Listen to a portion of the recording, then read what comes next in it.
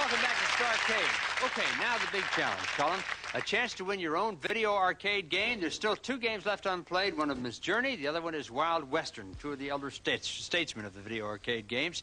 During the commercial break, we informed you that if you picked Journey, you'd have to score at least 1,556 points. Okay? If you picked Wild Western, you'd have to score at least 498 points. Those are the average scores of more than 20 other players who played these same games. I understand you reached your decision. You picked Wild Western, is that right? Yes, that's right. All right, Wild Western it is. That means if you score 498 points or more in 30 seconds, you'll win this wacko.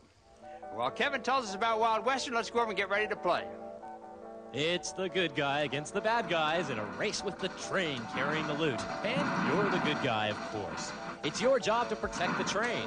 Gallop into the battle, use the train for protection, and jump on top if the bandit does. But whatever, protect the loot. It's Wild Western. All right, Wild Western it is. I haven't played this game. Uh, any special technique you're going to use? No, not really. Okay, 498 points is what you need. You need it in 30 seconds. You do that, and you're going to go home with Wacko. And now, you know, I said that before. We had a call from Kevin's girlfriend. She was terribly excited about that. Uh, no, we're not giving away Kevin, uh, so I'm sorry to disappoint you. He will be home later. Okay, now, if you're all set to go, you ready? Yes, sir. Good luck to you, Colin. You have 30 seconds. Get ready. Get set. Play.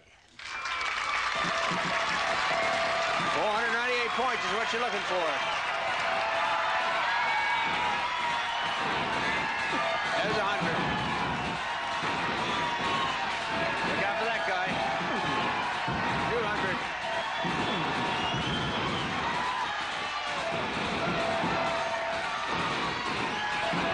Fifteen seconds.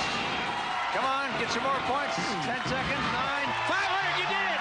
You did it, Colin. Congratulations. Thank to you. You got yourself Wacko that grand prize. You're a good player. Thank you very much. here on the show.